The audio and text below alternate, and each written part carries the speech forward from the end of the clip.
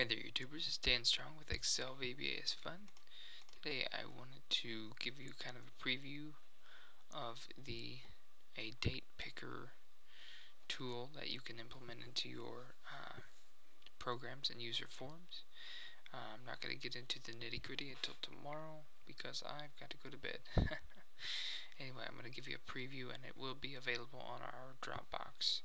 So if you already have that, it will appear in your Dropbox automatically. Otherwise, you can go to my Dropbox link on our YouTube channel and uh, download this date picker tool.